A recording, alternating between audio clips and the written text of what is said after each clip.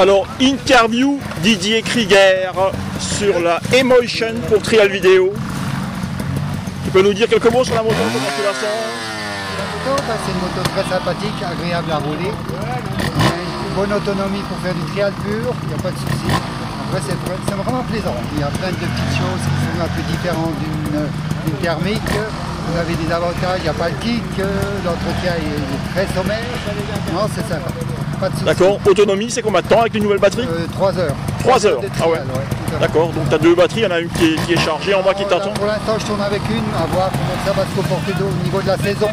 Peut-être une deuxième. Le problème un peu, c'est le prix. Une batterie, c'est 2500 euros. Alors à voir après si ça vaut le coup d'investissement ou pas.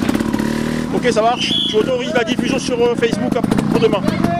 Tu autorises la diffusion de... Oui, oui, il n'y a pas de souci. Ça marche, on va, te- on va te filmer aussi. hein. Ça marche.